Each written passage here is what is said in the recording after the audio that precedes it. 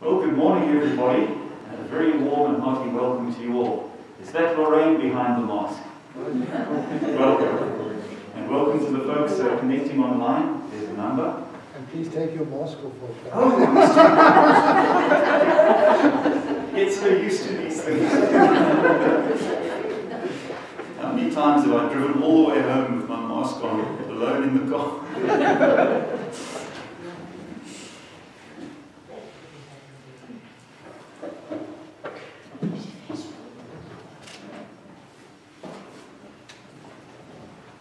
A couple of announcements. Um, first of all, please remember that the Covenant Family Bible Study will be taking place, Lord willing, this Saturday, 1st of August at 11 a.m. at the college. Um, so do come along to that if you'd like to. Um, the other thing that we need to just be aware of is that um, we shouldn't become complacent as far as the, the uh, precautions against COVID go. Uh, now, if ever, is going to be the time that, that we need to be particularly vigil vigilant. This came home to us this week when a customer in the bookshop came in and spoke about a pastor, his friend, who had just died of COVID, which had been contracted in a church situation. So we, we, we need to take heed, we need to be warned, and be particularly careful. So please, uh, all the things that they tell us all the time, uh, let's observe them.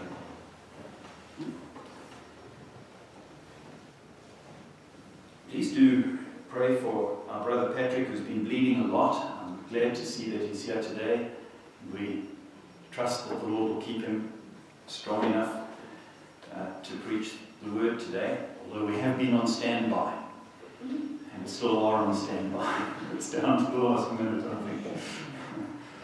Uh, so uh, may the Lord watch over his suffering ones and uh, please regularly pray for all of them, and particularly for Patrick.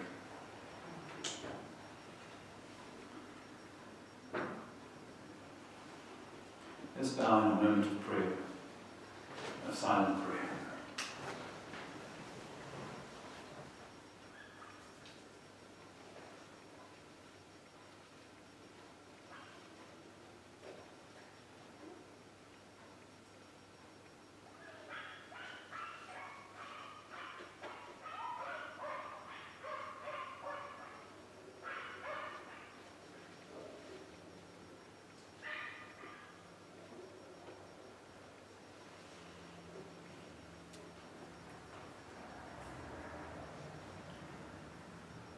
Sing to the Lord a new song. Sing to the Lord, all the earth.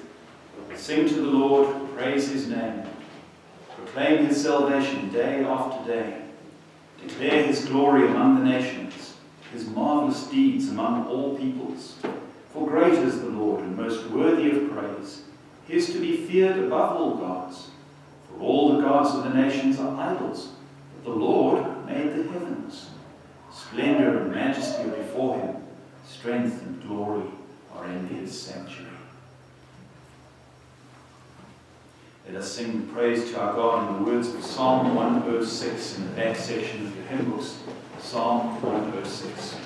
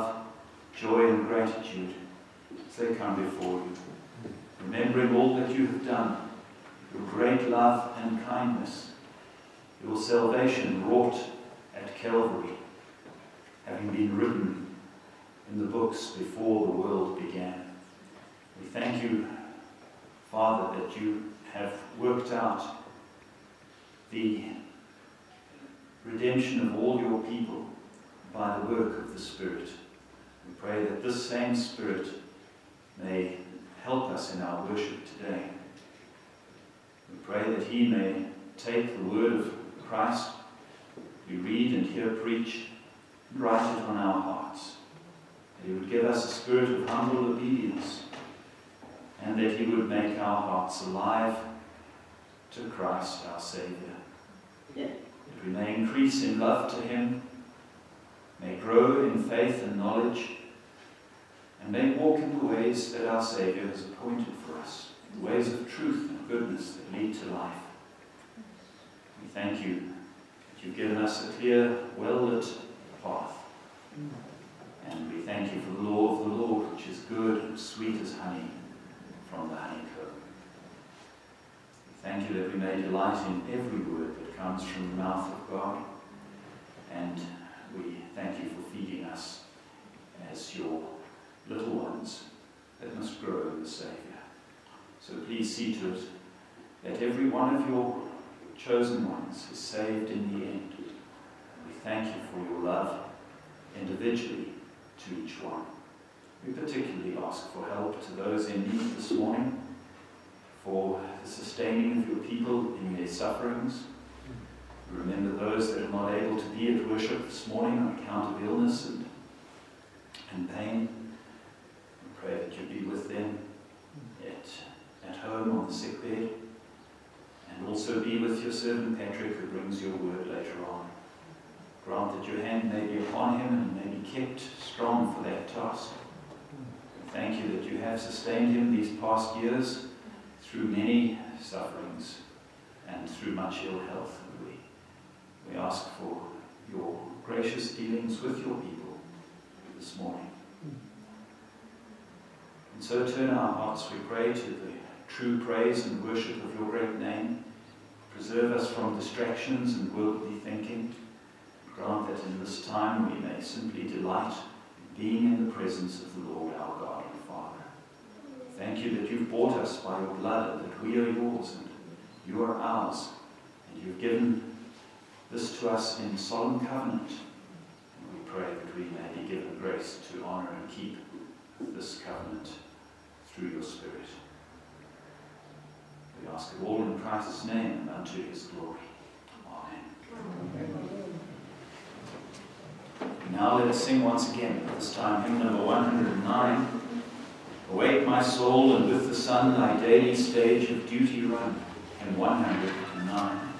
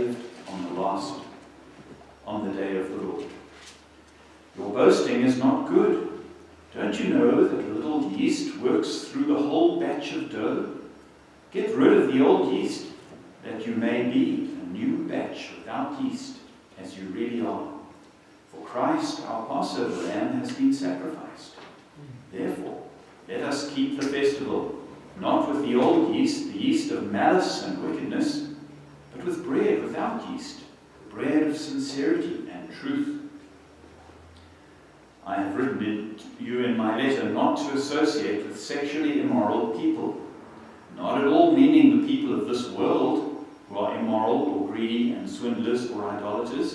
In that case, you would have to leave this world. But now I'm writing you that you must not associate with anyone who calls himself a brother but is sexually immoral or greedy, an idolater or slanderer, a drunkard or a swindler with such a man, do not even eat.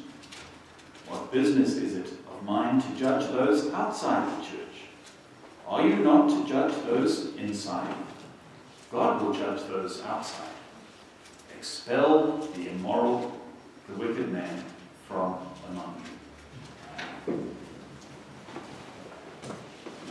So again, we come before God in prayer.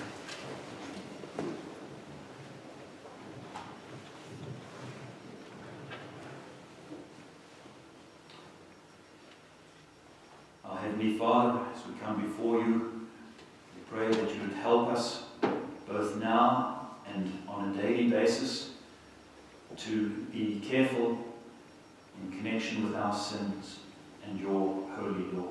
To be careful in confessing our sins to you. To be careful in truly repenting from the wicked ways in which we have walked, whether in thought, word, or deed ask for your Spirit to be given to us, your Holy Spirit, who makes your people holy and who grants us the wonderful grace of the shame that causes us to confess our sins to you. Thank you for the conviction in our hearts, not only that your word is true and your law is good, but also that we have offended in many.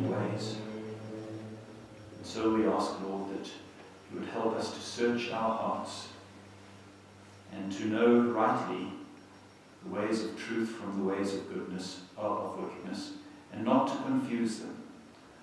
We pray, Lord, that we may be ready and willing and quick to repent of all of our sins mm. and to own them before you. Remember the words of the psalm, Against you and you only have I sinned and done what is evil in your sight. We thank you nonetheless, our Father, when we do come to you, ashamed and disgraced in our sin and defiled, nonetheless you welcome the repenting sinner and you freely forgive your people. Thank you that all of our sins have already been dealt with in Christ and we bless you that we are accepted in him.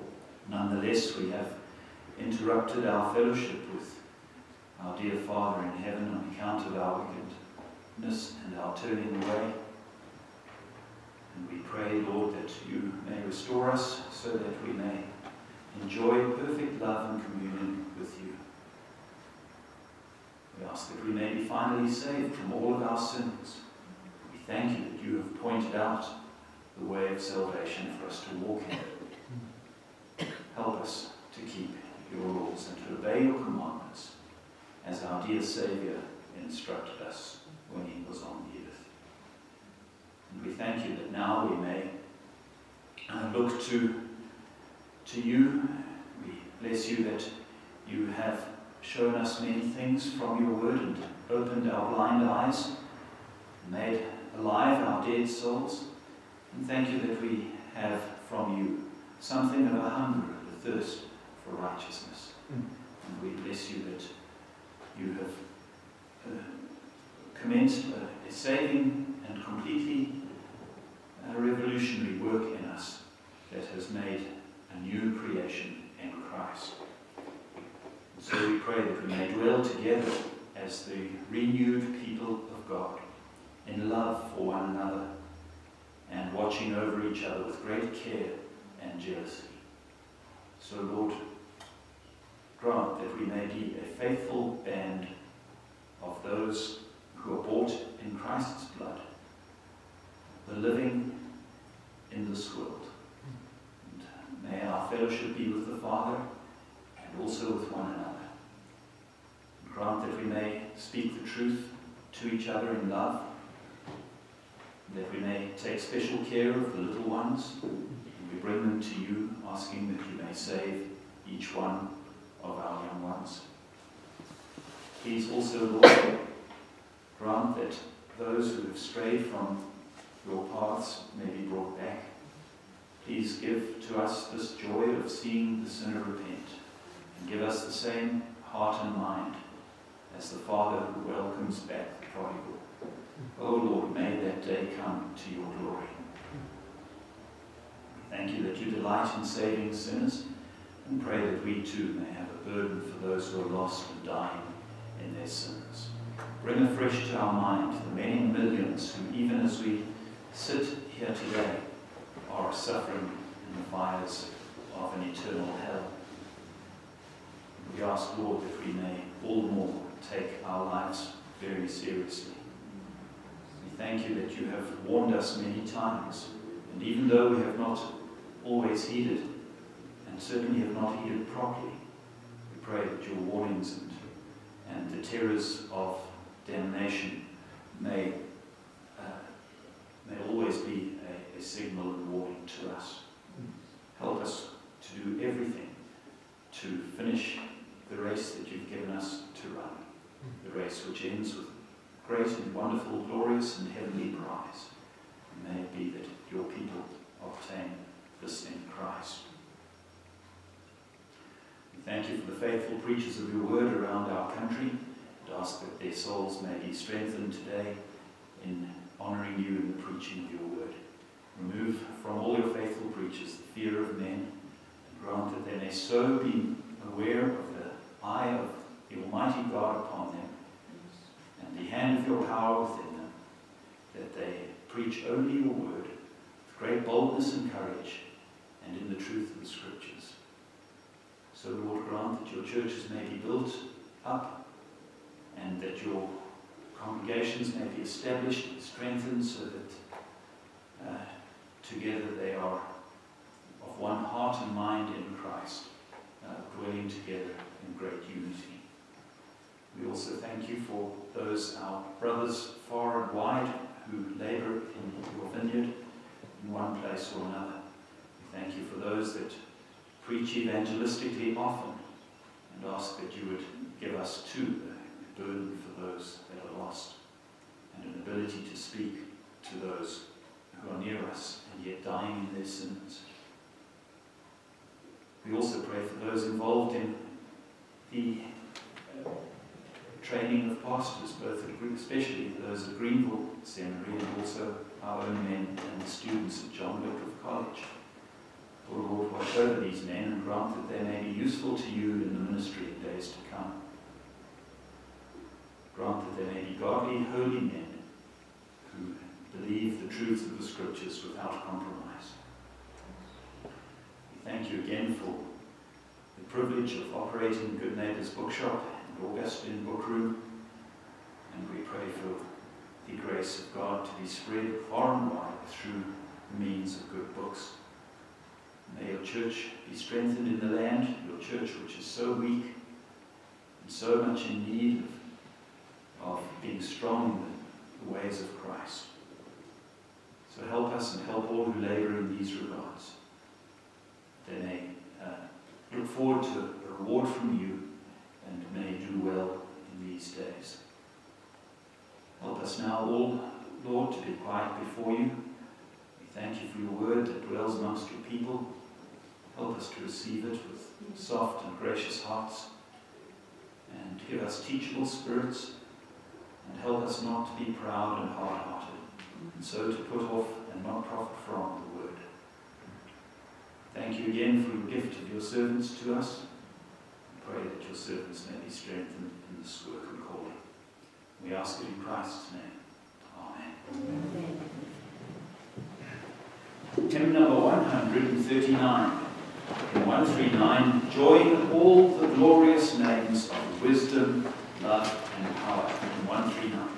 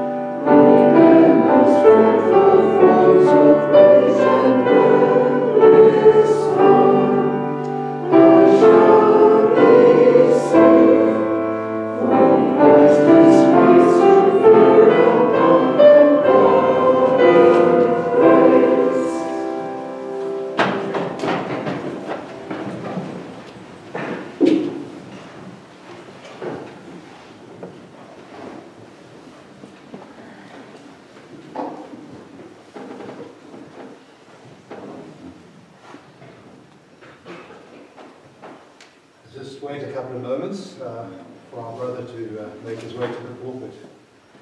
Let's uh, quieten our hearts before the Lord while we do that.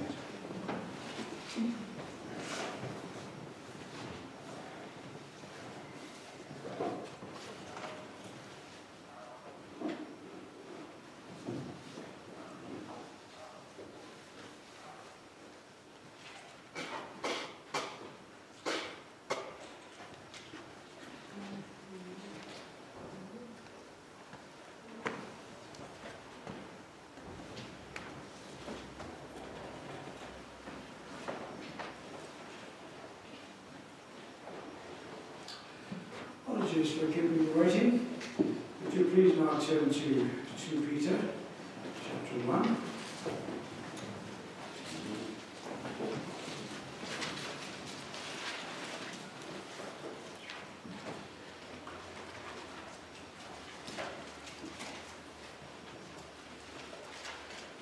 We read from verse 12.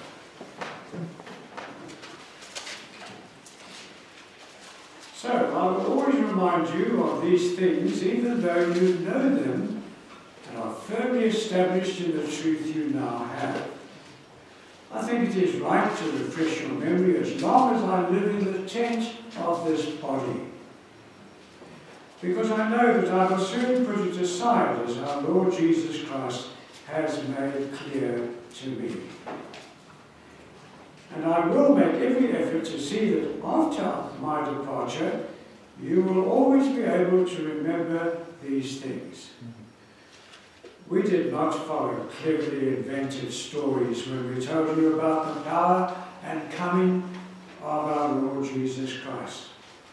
But we were eyewitnesses of his glory, uh, sorry, of his majesty. For he received honor and glory from God the Father when the voice came to him from the majestic glory, saying, This is my Son whom I love, with him I am well pleased. We ourselves heard this voice that came from heaven when we were with him on the sacred mountain. And we have the word of the prophets made more certain, and you will do well to pay attention to it, as to a light shining in a dark place, until the day dawns and the morning star rises in your hearts. Above all, you must understand that no prophecy of Scripture came by the prophet's own interpretation. For prophecy never had its origin in the will of man, but men spoke from God as they were carried along by the Holy Spirit. Our gracious Father, thank you for this uh, word that we've just read, and thank you uh, for your grace and mercy and love to us. We ask for the gracious enabling of your Holy Spirit uh, to help me as I uh, preach uh, what you've given me to, to, preach, and help us all as we uh, hear your word and come home to our hearts, we pray. For Christ our Saviour's sake we ask.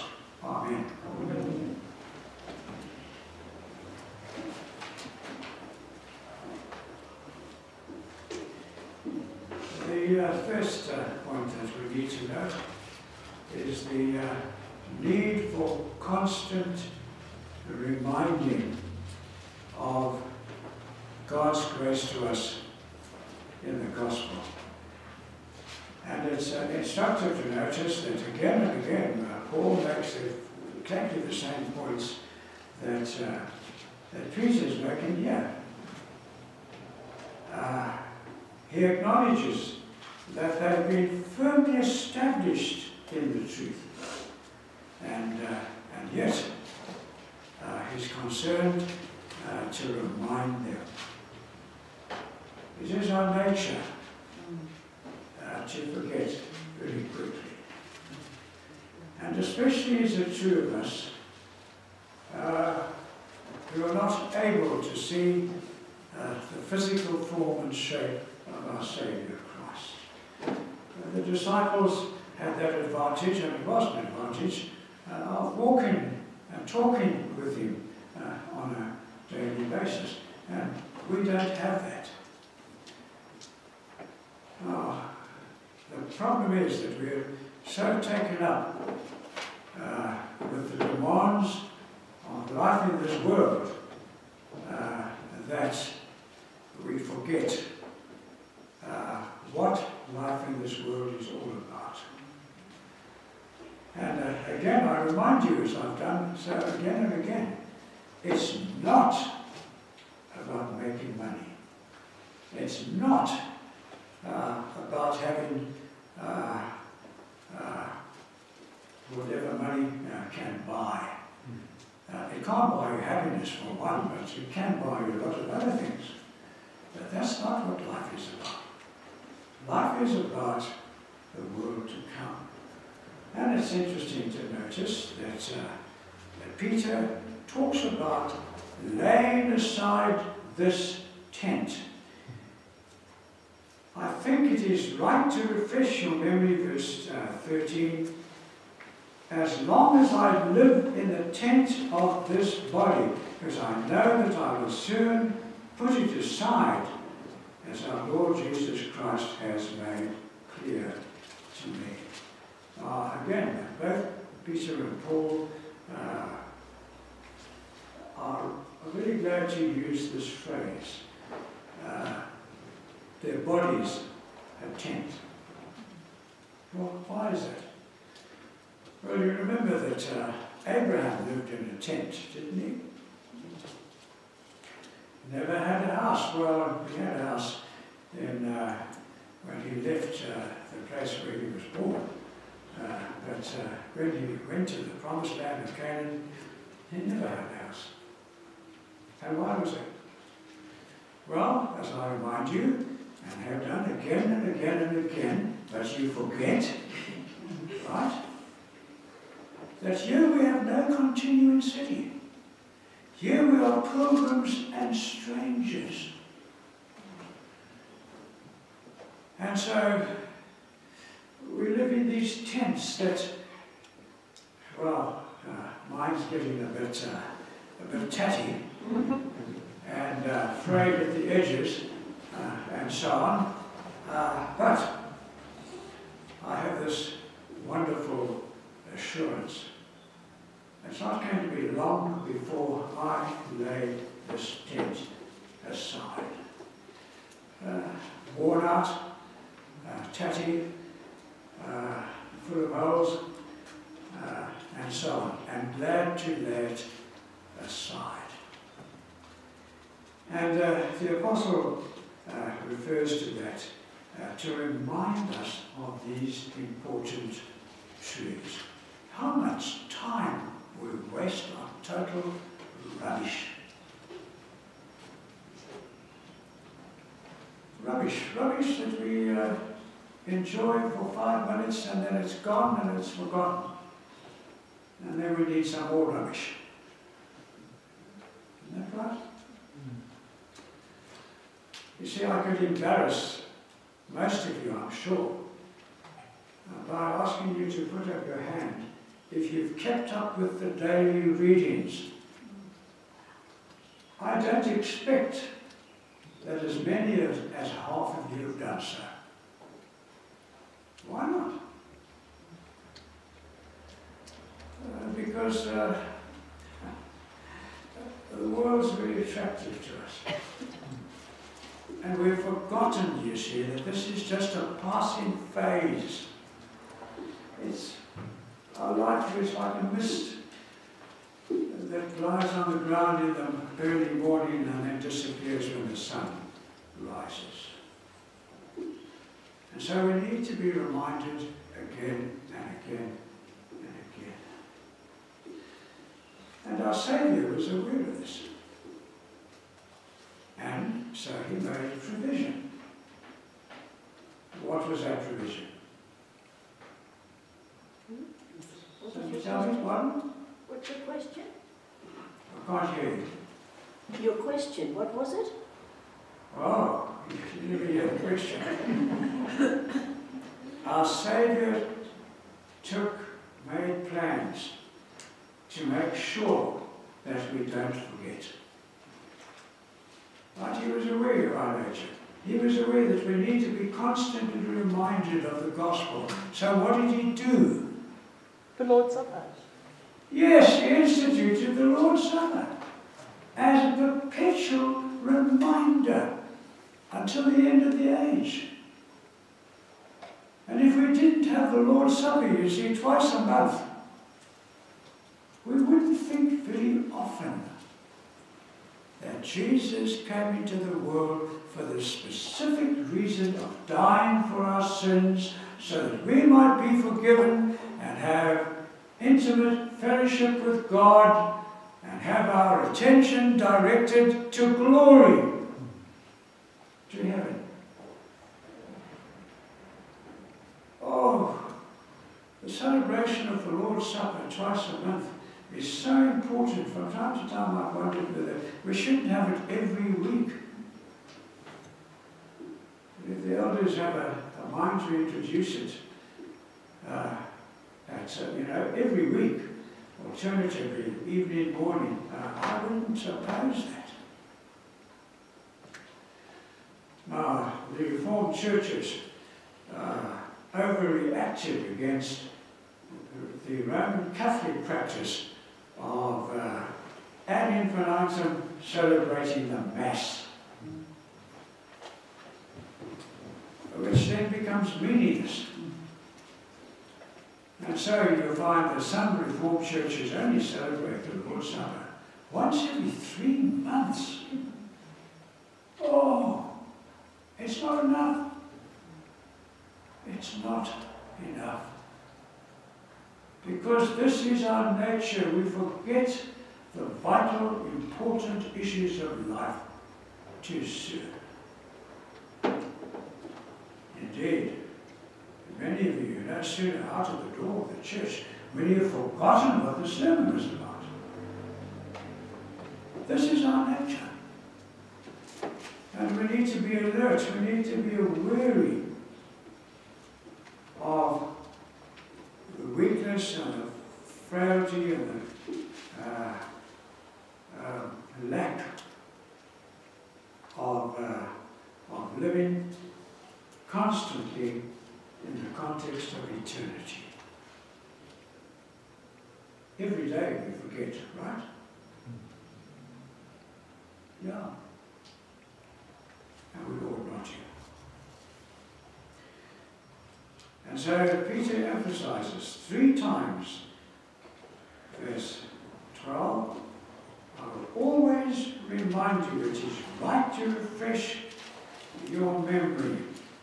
Uh, verse 3. And will make every effort to see after my departure that you will always be able to remember these things. Verse 15. It may well be that uh, that's what prompted him uh, to write Mark's Gospel. And it's uh, pretty generally accepted that uh, Mark's Gospel was actually Peter telling Mark. And Mark uh, wrote it down. Uh, theologians agree that Peter's Greek wasn't very good. If he came to John Wycliffe College, uh, I think he battled with the Greek. and uh, it's interesting to notice that uh, 1 Peter and 2 Peter, uh, there's a different standard of Greek. This is just by the way. And uh, it's prompted some people to say, you see, some theologians to question whether 2 Peter really is Peter's letter. But the answer to that is very simple. Peter, we know, had Mark to help him write. And then it would appear that he had somebody else, perhaps Silas, to help him write uh, the second letter. Uh, or the other way around, I, I can't quite recall. But Mark's Gospel, I think, may well have been written uh, in answer, as a result of people, Peter saying, uh, I, so I will always remind you uh, of these things. And he says, because I know that I will soon put aside this tent, and I will make, verse 15, every effort to see that after my departure, well, that doesn't mean that he's going to come back as a spook and uh, wake him up in the morning and just No, no, it clearly refers then to his making plans, and it would seem that that was to produce Mark's Gospel, which may and, uh, and probably was the first Gospel to be written. The importance then of a constant reminder. And you and I need to remind each other. Uh, very rarely do we speak to each other of the death of our Saviour. Why not? Why is that so? You'll find, you see, when Christians get together, uh, for some function or other, you know, somebody's birthday party or uh, some uh, uh, some do, you get together and you have lunch together, and, uh, and you'll find that one or two or three guys will get together, and what do they talk about? They talk about the rugby. Most natural thing world.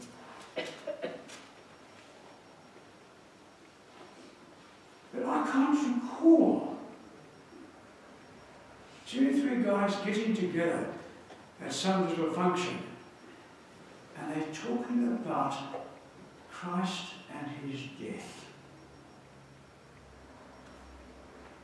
And what's more important to us? A stupid game? Or our eternal welfare? Well, of course, you all know the answer. Then why don't we practice what we know to be true? And so may I encourage you, often, you know, when we used to have church lunches, I would try, I would sit somewhere and, and just try, you know, to get the conversation on spiritual things. And so I ask a question and there's one short answer, and we're back to talking about the stupid rugby. Now, I'm a rugby fan, no question about it. I enjoy talking about rugby. And I would have been very glad to have been able to play competitive rugby. Let me just tell you that uh, I was barred from playing all sport because, uh, well, for certain reasons. And uh, well, the reasons are simply that if I fell on the ground, uh, my skin, where I was burnt many years ago, would just slide off, you see. That's how I was barred uh, from all sports at school. That's after school and, and as a young man of uh, 18, 19, I had an opportunity to play in a few games, which I've never forgotten. And I played centre or wing. And every game I played in, I scored a try. Never forgotten. Uh, but it's just a game. Will rugby be played in glory? I don't know. Doesn't matter. But I would be surprised if we didn't play some game of some sport. So may I urge you, when the service is over and you're standing outside or inside talking, would you all try and make a point and talk about Jesus? And how important his death is to you. It is the most vital fact of history.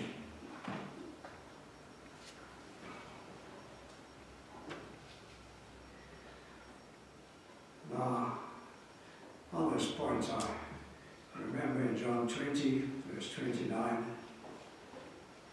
uh, Jesus was reassuring and dealing graciously with Thomas, who said he wouldn't believe uh, that Christ was alive unless he could put his finger into the, the uh, holes in his hands and his hand in his side and so on. And Jesus then appears and says, Come, put your finger in my hands and believe. And then he went on to say, you see, Blessed are those. Uh, he said, because you see you believe. Blessed those who have not seen and yet have believed. So he's aware, you see, of the difficulty that we have of living in this world and every day having to live with what the world is offering us, is grabbing our attention constantly, right? Constantly. Yeah, you turn on the television and there the world is reaching out and grabbing you. Uh, you're driving your motor car down the road and there the world is reaching out to grab you. Constantly. You open your newspaper and there the world is reaching out to grab you. Oh, I need to underline this again and again and again. Brothers, sisters, talk about Christ. Talk about his victory on the cross. Study it. Ask questions. Delve into it and share what the Lord brings to you.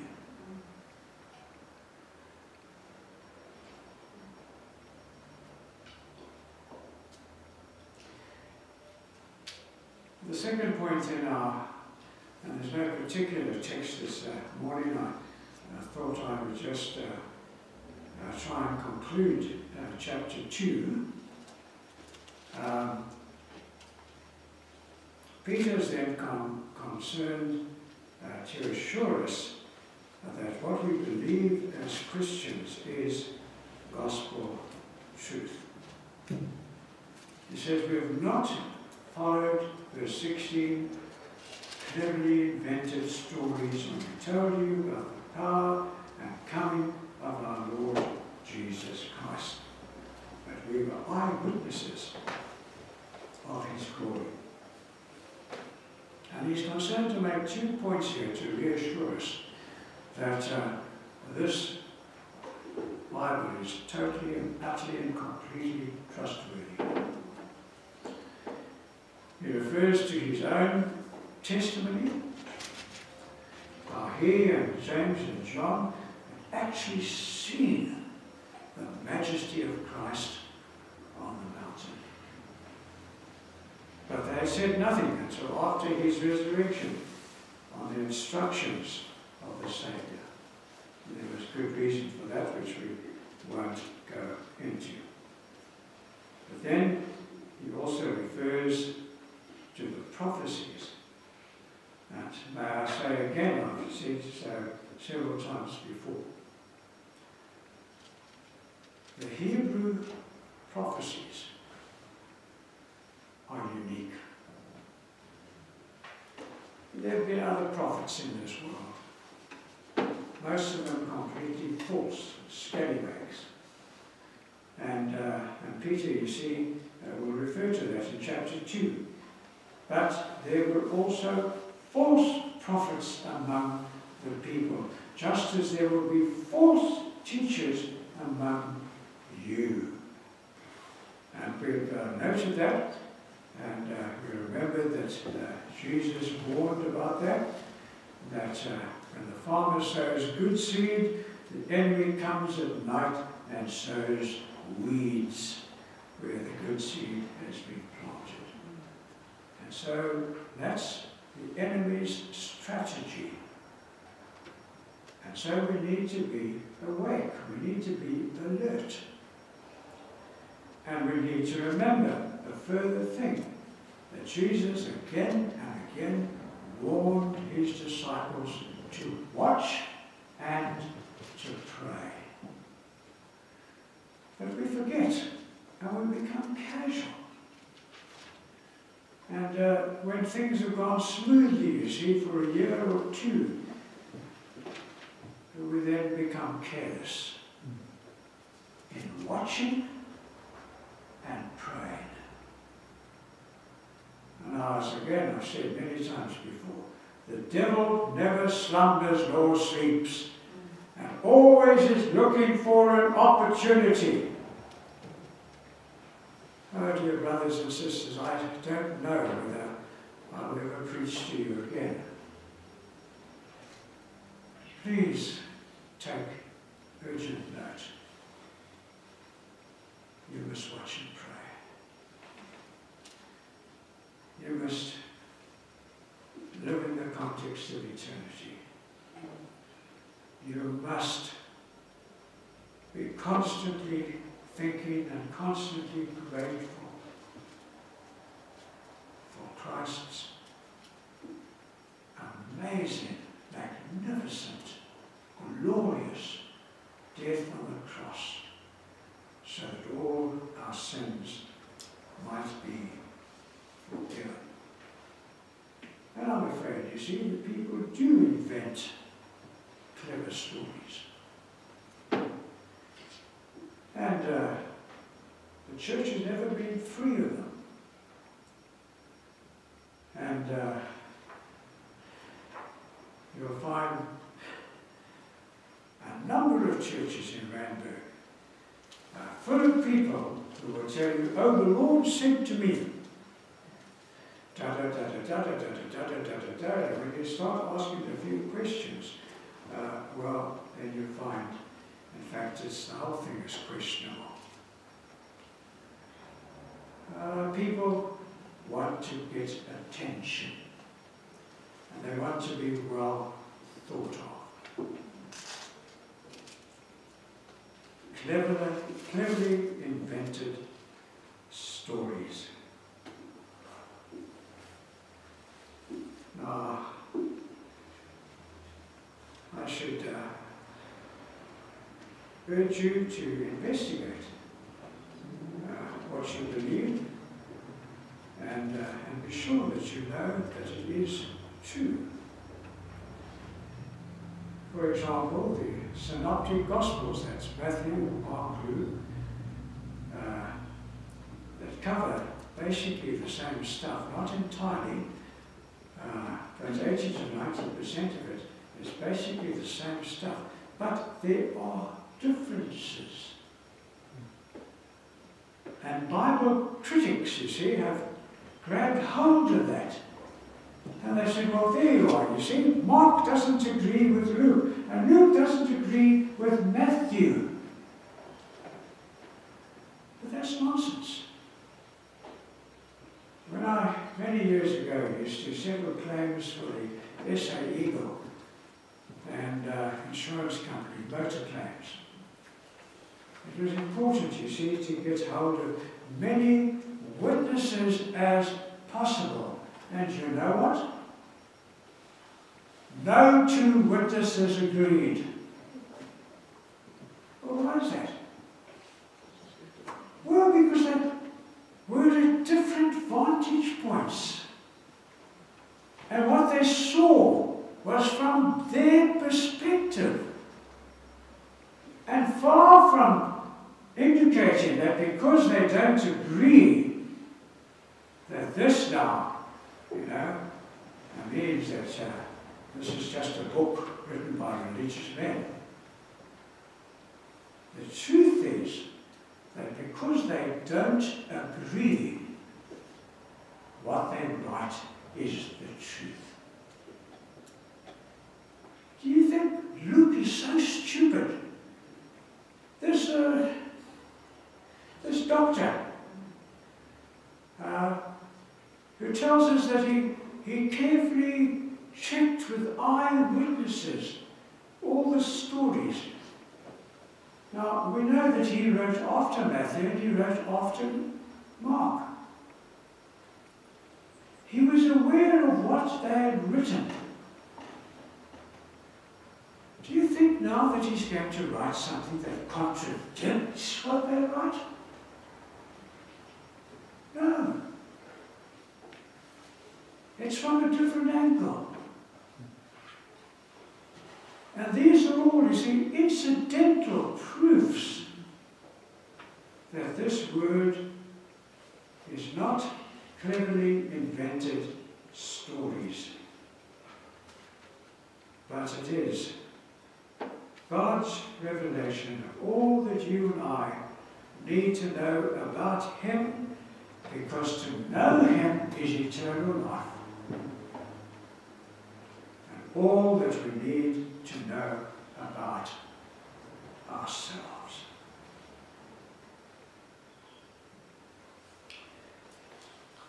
And Peter then says, further, the word of the prophets is made more certain, and it's like a light shining in a dark place until the day dawns and the morning star rises in their hearts. Okay, let me ask you, what do you, what on earth do you think Peter's talking about? Let's start with the morning star. What's he referring to when he, he says, until the morning star rises in your hearts? What's the morning star? Yes? Yes, it's the Lord Jesus, right? It's one of the titles that he has in the Old Testament. The bright and morning star. Now, what does the morning star tell us? Right? Sometimes early in the morning you can get up and you see the only star in the sky is the morning star. What's it telling us? Dawn is about to break.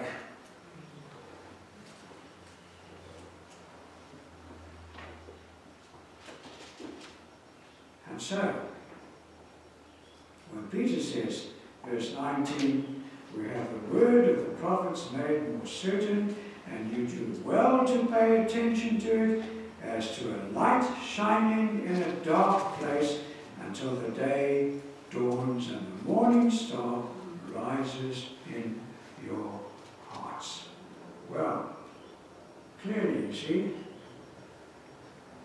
the Old Testament prophets wrote amazing prophecies. But many of them would not be, have been understood. Certainly, you see, what Isaiah writes wounded for our transgressions, bruised for our iniquities, chastised, given a damn hiding. We better turn to you.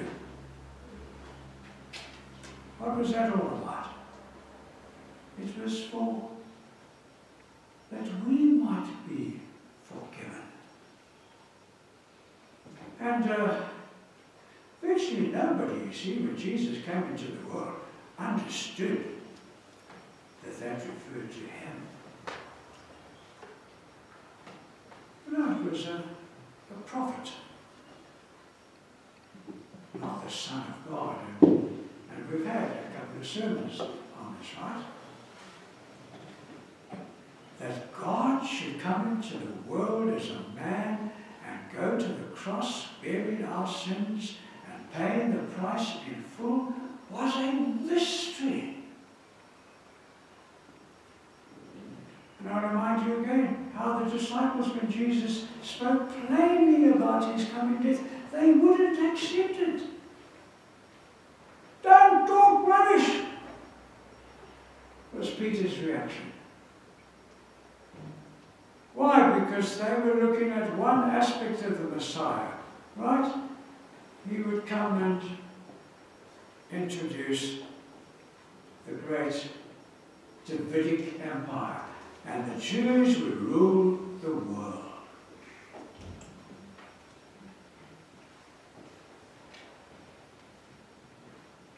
So, the word of the prophets are made more certain, more clear with the coming of Jesus into the world he's going to the cross. Now, you see, the disciples understood Isaiah. And not only the disciples, but now the angels understood Isaiah. They didn't know. This was the mystery to be revealed. And so, the gospel, the New Testament, um, gospel content then helps us to understand what the prophets were saying so much more clearly. And as a result, the darkness into which you and I were born slowly, slowly recedes as the light pushes it back. Now, of course, those who are not real believers, they don't like the light, right? No, they withdraw from the light. Why? Because Jesus says, don't like the light because their deeds are evil. And the light will expose their deeds. But those to whom God is gracious and whose eyes are opened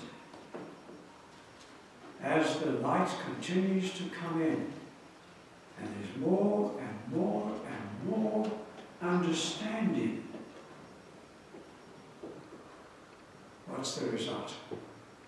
We're drawn closer and closer to the morning star.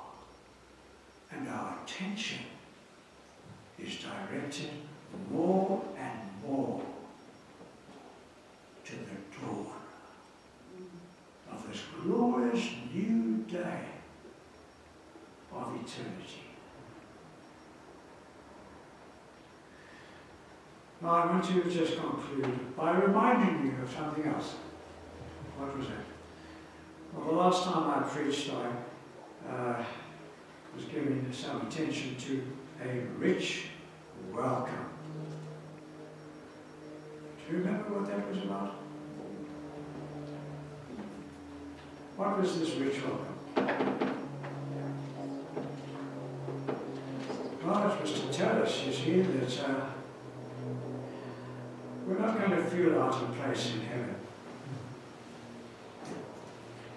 We'll have new bodies, but they'll be real bodies that eat real food and drink real wine.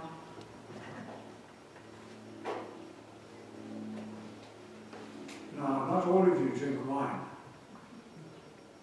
But I venture to say, in the new heaven, you are going to love the wine. I'm. And you know what? It's such good wine that one glass will be enough. And it won't enter your head. Perhaps I can have a second glass. No! One glass will completely satisfy you. Isn't that wonderful? Man, the meat we had, which I enjoyed, I don't know whether you all enjoy it, roast pork belly. I don't know whether we'll have that in heaven, uh, but this is going to be meat. We spoke last time about the, the fattened calf, right? Kill the fattened calf. That was the, the father's instruction to the, the servants to welcome home richly his son, who was dead but is alive again, who was lost and is found. Oh, my friends, ah, read the scripture. It's amazing to me that less than 10%, it is probably more than that, or less than that, of real Christians have much idea of what we may expect.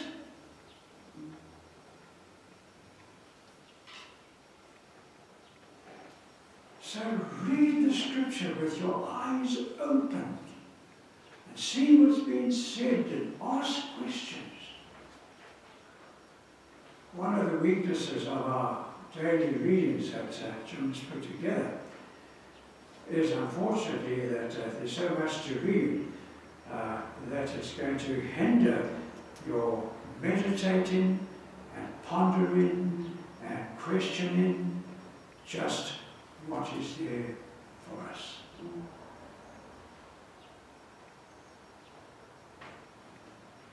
One of the Puritans, I can't remember who, many years ago, I read it somewhere, and he was uh, talking about this, and he was saying, he used these words, I can't remember much else.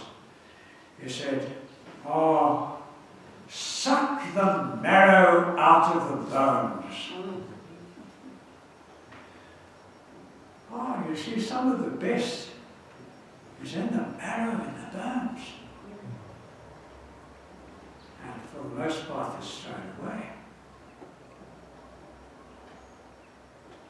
It's rich. And it's, uh, it's good for you. A rich rock. You're never going to get bored in glory. And as I said before, you see, deal with this false idea that there we're all going to be millions of us all standing around uh, with our song books and forever and ever and ever singing praises to God ad infinitum. It's not going to happen. You'd get bored. Right? Be honest. You see, people don't, uh, you know, they don't think. And they think, oh no, we never get bored praising and worshipping and honoring God. But singing praises is not the only way we worship Him.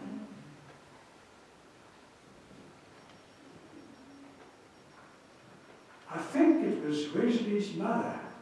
I'm open to correction. You see, this is part of the problem with the, the tent getting tatty and, and falling into holes. That uh, whoever it was, I'm sure Jim will know, uh, he knows everything. Unfortunately, it makes him proud. Folks, seriously, I didn't intend to say anything about this. God has brought this ill health upon him to deal with his pride. And the result is he doesn't listen to advice. Yes, I see half a dozen heads nodding. Jim, please, please, what do you want the Lord to do? Do you want him to take one of your legs off? I mean, you know, the ball's in your court. You're not right all of the time. You may be right nine times out of ten. That's incredible. Listen to those who come to help you. Even your wife has told me. Jim doesn't listen to anybody. He thinks he knows everything. He thinks he knows best. I see Trish looking at her husband. You've got the same problem, have you?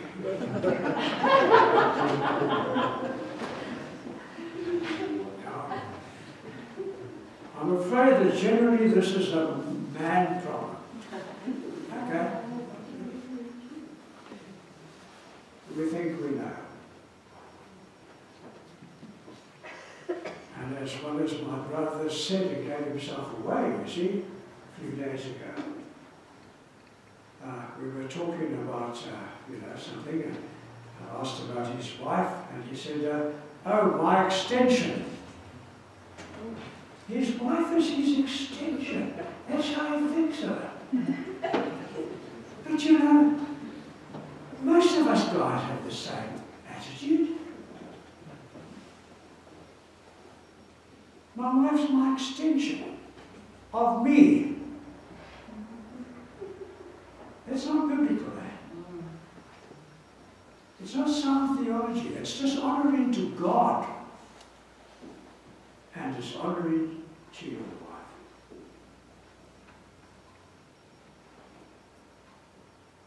But now, I've gone a bit astray. Yes, we're talking about this rich welcome. I just wanted to remind you of it. And I was talking about this, this lady, this, this mother, who had, I think, about 10 or 12 children. And, uh, and there were two things I remember about her. It was very difficult for her to get alone, to have her quiet time. Because there's so many children making so many demands upon her. And so she gets up on this plane. She puts her apron over her head. And the children then knew, shh, mom's with Jesus. But the other thing I wanted to get across, you see, what is honouring and worship God, worshiping God? Well, this mother had a sign above the kitchen sink. And the sign said, Divine service performed here three times a day. Right?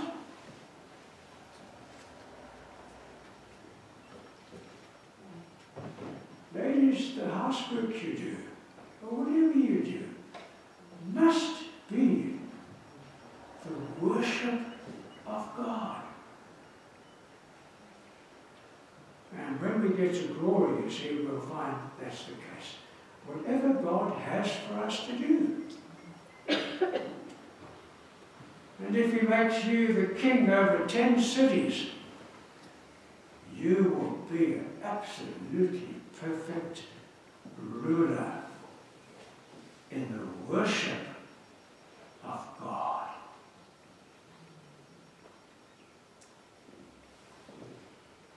A rich welcome.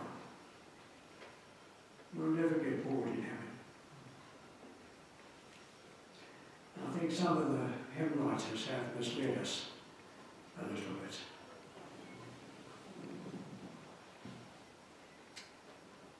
A rich welcome. Now, I urge you to think about that again and again and again. And put a little sign up where you put your signs up to remind you to do something. You see, my wife has a has a shopping list up on the wall. You see, when she thinks, oh, I need to get this, otherwise when she goes off, she forgets to get half the stuff. So she writes on her list, and then when she goes shopping, she takes her list down. Well, put a little sign up there to remind you.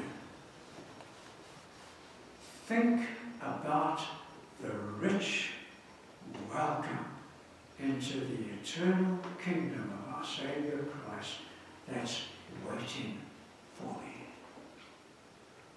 And then think about it.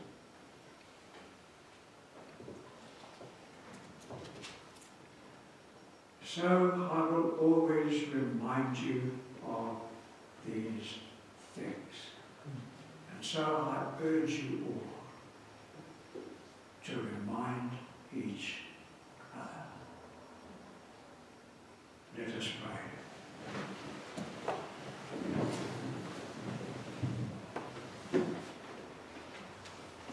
Gracious Saviour, as you well know, we are of the earth earthy. Uh, we are by nature uh, comfortable in this world. And there's every reason not to be. Uh, for it's all founded on lies and deception and subterfuge. And it will destroy us. Gracious Lord,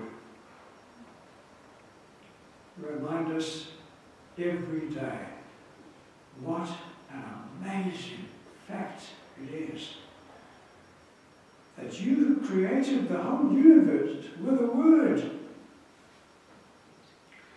You who created the millions of angels and archangels and uh, seraphim and, uh, and everything that exists that you should so love your people that you became a man so that as a man you would qualify to go to the horrors of the cross and there pay for all our sins. Oh, grant that we may think and ponder on this amazing, life-changing truth. Every day we have to live in this world. And so may the grace of our Lord Jesus Christ and the love of God, our Father, and the fellowship of the Holy Spirit truly be us and with us as his dear children.